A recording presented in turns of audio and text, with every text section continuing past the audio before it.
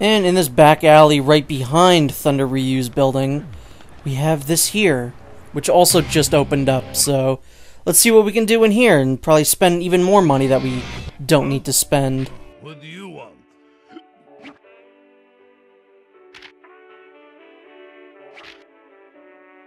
There's no place for a pussy like you. Go home to Bobby.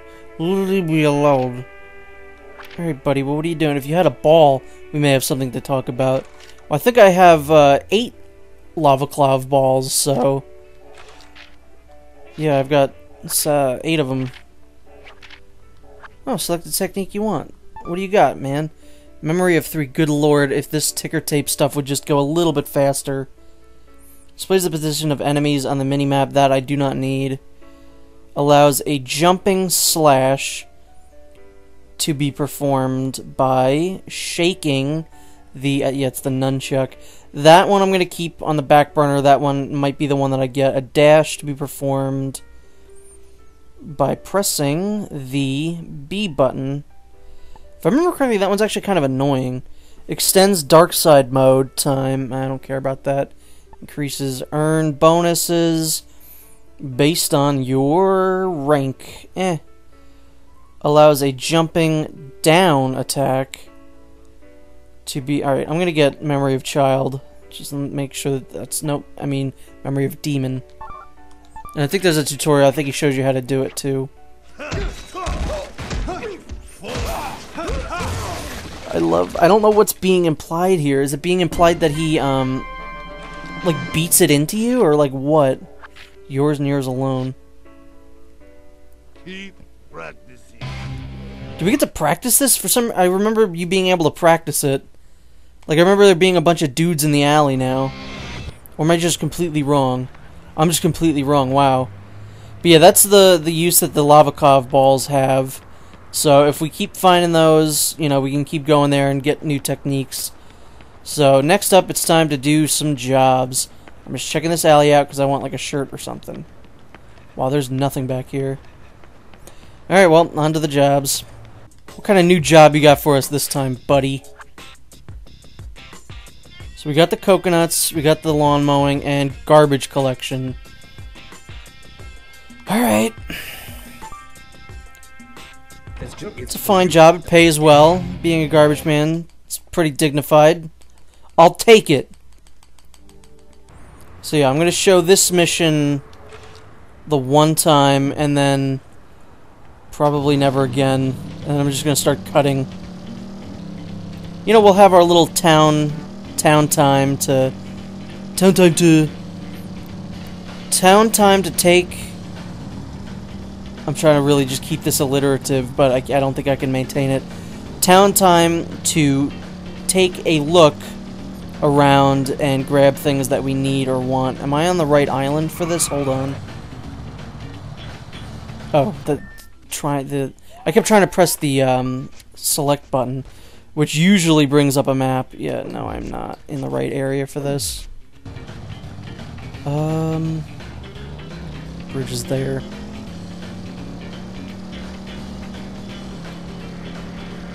But yeah, it, it's just like it.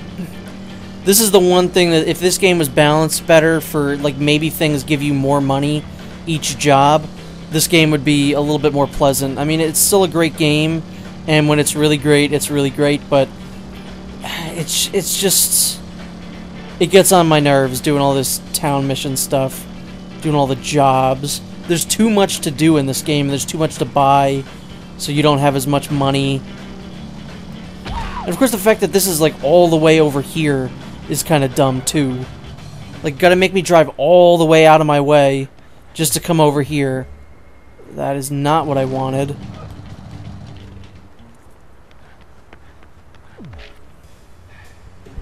This is the land of freedom and anarchy. Each piece of garbage is a lost soul. True garbage man can bring peace to the dead. A soul that can talk with garbage. The god of garbage will be watching. Go save that garbage. Okay then.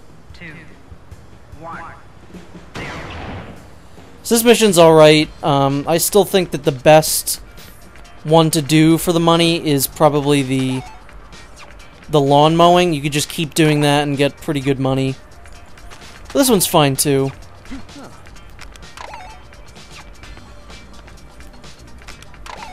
And I, I don't know. This is a good use of motion controls, I'll say.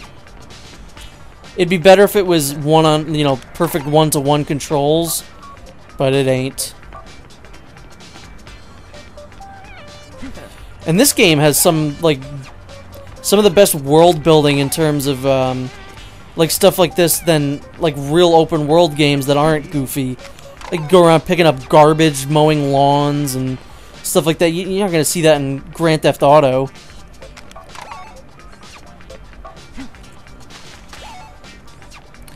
So it's a thousand per bit of trash.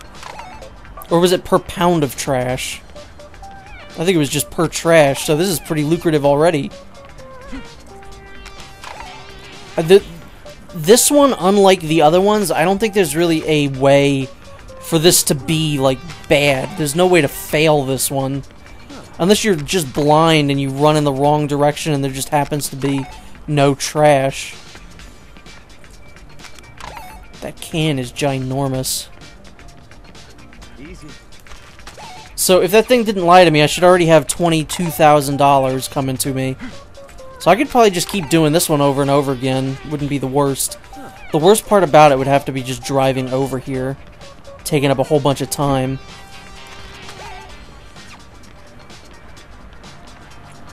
Yeah, frame rate's kind of screwing up over here. Too many things on screen at once.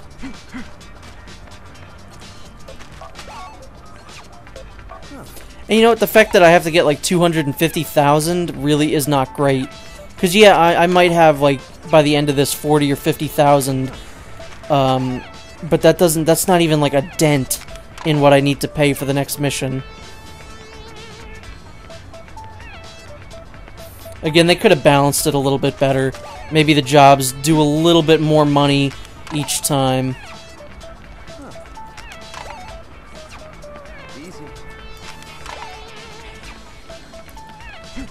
Shock this trash can. You know, it'd be a funny little detail is every time you bend over to pick up a piece of trash, something else falls out. This is probably where I'll make my final stand here. If I could just pick up all this stuff by the end, I'd be fine.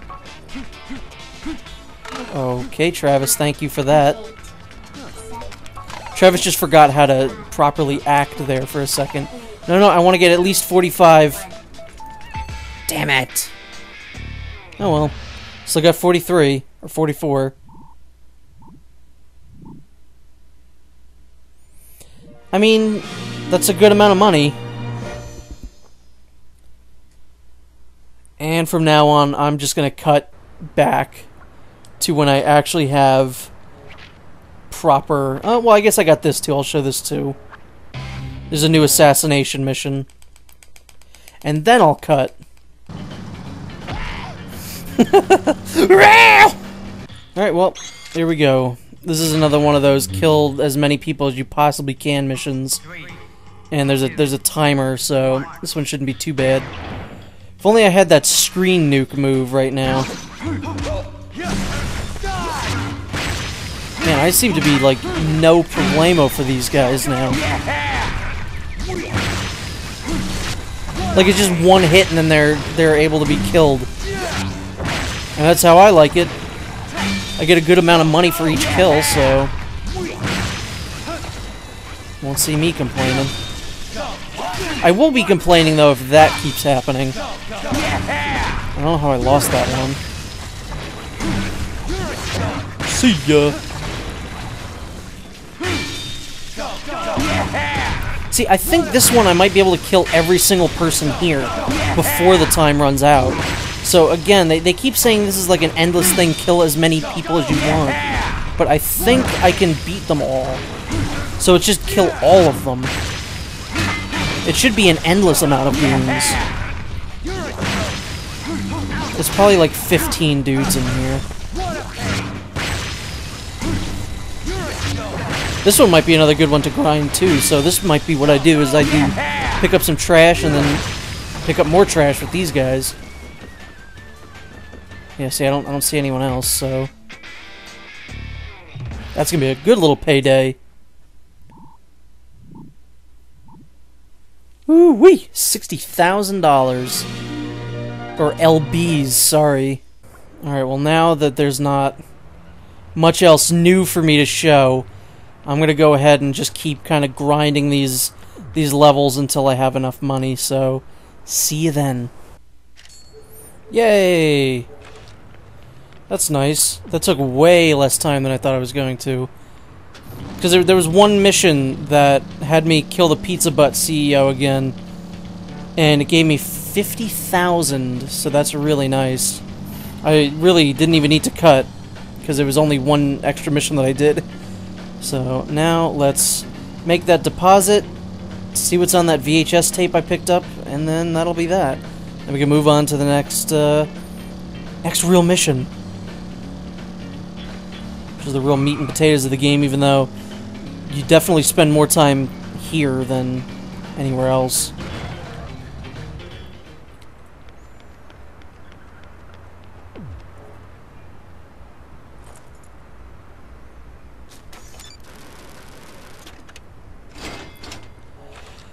Well, I, I wish I had $250,000 I could just put in my bank. The hell? That thing came out of nowhere.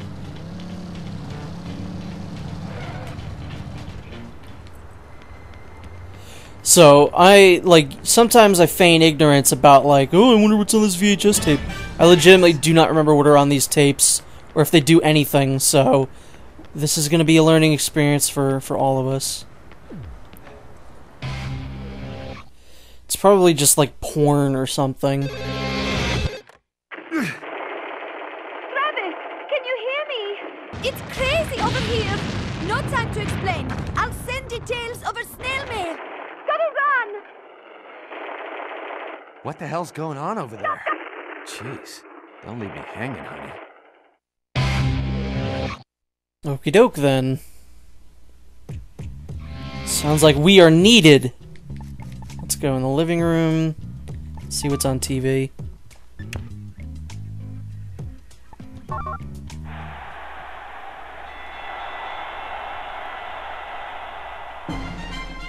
Ah, okay. The Quebradora con Giro. Neat. If only I knew how to do it. Can I check his fridge? What does a man like Travis Touchdown keep his, keep in his fridge? Alright, that makes sense. There's an N64 there, that's cool. I think I already pointed that out, but it's pretty neat that they put like an N64 in the game. He seems like the kind of guy who would have like retro systems. Travis is the kind of guy who would keep retro systems, but then also say that everything came that came after like the 1990s is all garbage. That's the kind of person I imagine Travis is.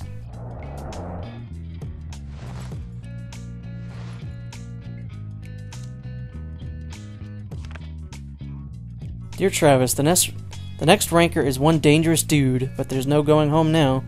I already am home. You've set foot on the path of a real man. No amount of tears can wash that choice away. Now hurry to the subway, get on a train, and find him. Waiting. Put your life on the line.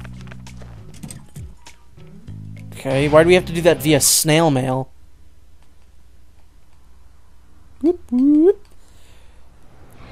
Sometimes instead of making the the blue shuriken thing going around and make it go real fast, sometimes I, I like to just kind of make it so that it doesn't hit the bottom, if that makes any sense.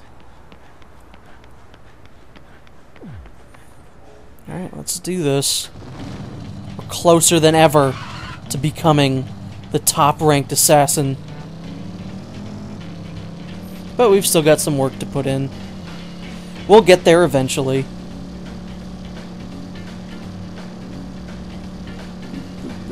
It's really kind of disturbing how similar this song is to a song in Sonic 06. Like, I really don't want to be talking about Sonic 06.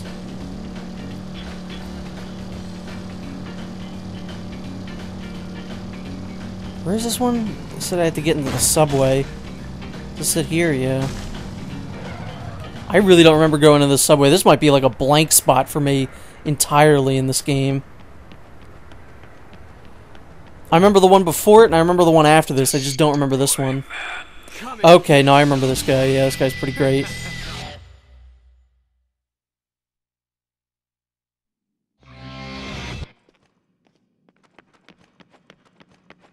This also reminds me of a level in Mad World, because there's a, uh, pretty early on in the game, there's a part where you go into the subway there, too.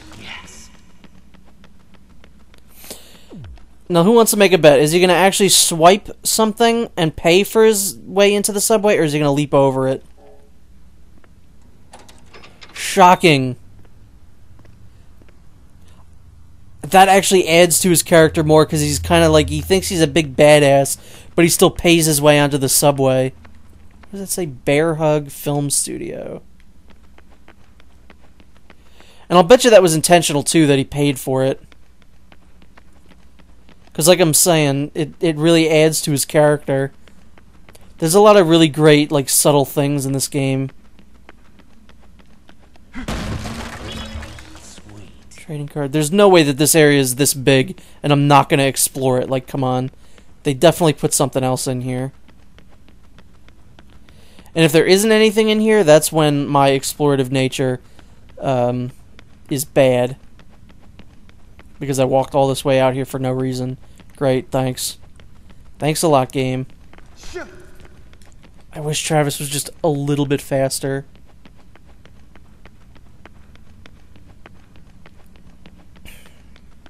Also, come on, this is I've never seen a subway system this this empty. Then again, I only use the subway in New York and that's like second only to Japan in terms of like horribly busy subway systems. Moai Financial, so great.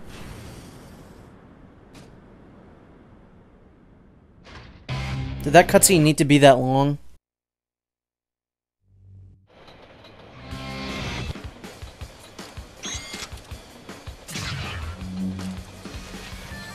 It's not the most interesting of levels.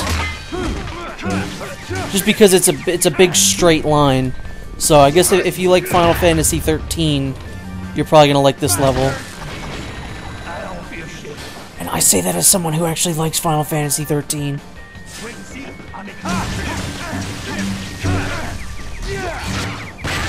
Why are these guys just like military dudes? What a pain! Like, look at this. This isn't challenging at all, and I, I assume I seem to be way stronger now, too.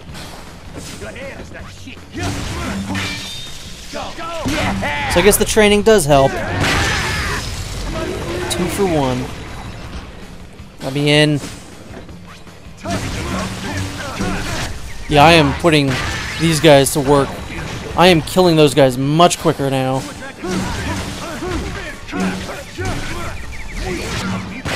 That guy.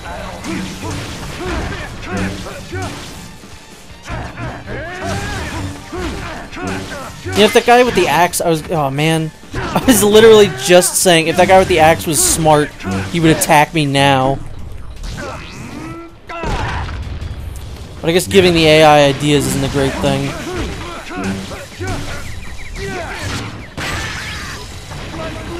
I like how there's no normal people on this on this train. It's just a bunch of enemies.